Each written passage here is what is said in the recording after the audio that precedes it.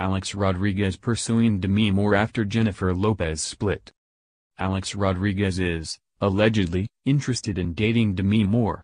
According to Woman's Day, Alex Rodriguez has finally moved on from his ex, Jennifer Lopez, and he's now ready to find love again. Alex Rodriguez thinks Demi Moore is perfect for him. A source claimed that Moore is the perfect woman for Rodriguez because she could thrust him back into the spotlight. After all, this is something that he couldn't, allegedly, do on his own. Rodriguez was a famed baseball star for years, but he wasn't as famous as the other athlete. But when he started dating Lopez, he suddenly became more popular.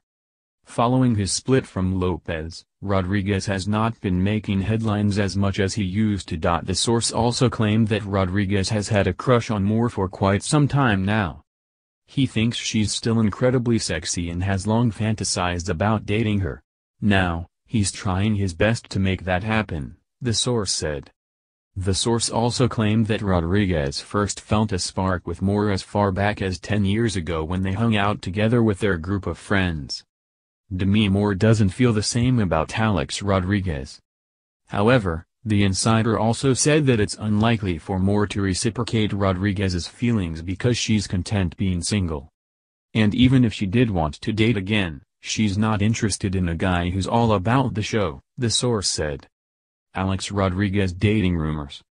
Meanwhile, Rodriguez previously made headlines after he was photographed strolling a visa with his rumored girlfriend, Melanie Collins. Days earlier, he also reunited with his ex-wife, Cynthia Scurtis sparking rumors that they have gotten back together. However, Rodriguez has not yet confirmed his relationship as of late. But fans know that Lopez has already moved on from Rodriguez with Affleck.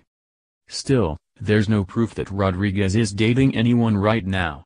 And it's obvious that the tabloids are just speculating on his possible love interests for the simple reason that he's single. In September, Rodriguez also made headlines amid claims that he and Affleck are at odds with each other that's why the actor played a prank on the athlete. However, there's also no proof that this happened.